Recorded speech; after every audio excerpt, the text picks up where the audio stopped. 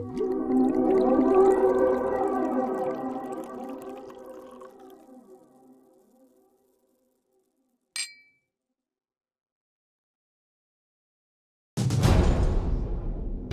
weekend is gonna be legendary.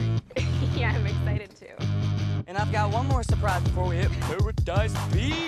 Let's go. It's weird. What? The bird. Aren't scarecrows supposed to scare off birds? Obviously, this farmer doesn't know what scary means.